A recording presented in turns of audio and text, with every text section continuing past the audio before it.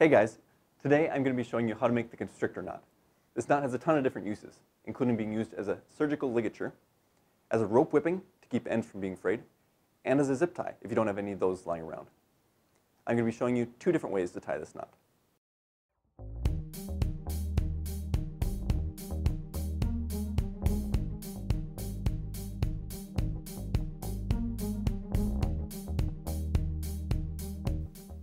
There's a couple different methods for tying the constrictor knot. The first one that we're going to go over is for when you have access to one rope end, but not access to the ends of the object you're tying it around. So we'll begin by passing the rope over the object, and then we'll bring it around to the left side.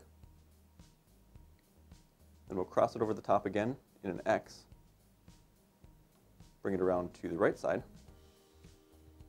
Then we're going to go over our standing end. This is our standing end here before going underneath both cords down towards the bottom. Pull both ends to tighten.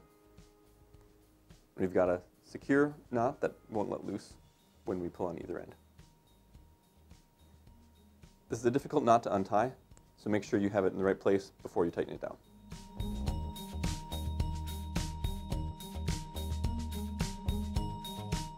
This second method of tying the constrictor knot is best when you have access to one end of your object, but not access to either end of your rope.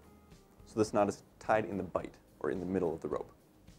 We'll begin by making an S by twisting our cord around like this.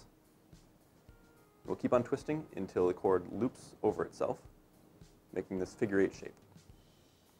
Then we're going to pinch all three cords in the middle of that figure eight and lift it up, and then we'll fold our two loops down so that we've got this nice knot right here.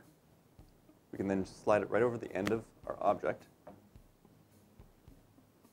tighten both ends, and there's our finished constrictor knot. Hope you guys found this video helpful. If you did, please subscribe. We put out videos twice a week where we cover things like knot tutorials, how to make things out of paracord, and just generally have a lot of fun.